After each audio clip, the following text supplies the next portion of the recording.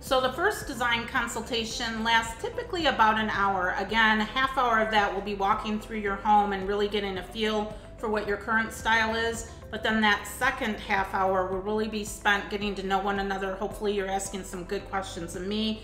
I in turn will be asking some good questions of you and your lifestyle.